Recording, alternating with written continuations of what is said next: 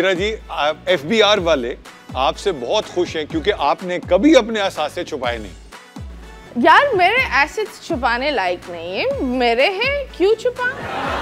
और लीगल है अपने हैं जाती। वेरी गुड पहली दफ़ा सच बोला आपने। ये तो शुक्र है कि कोर्ट ने सुपर टैक्स रोक दिया। वरना इनके ऊपर सुपर टैक्स का भी टैक्स लग जाता। ये मेरी वकील है ये दुश्मन।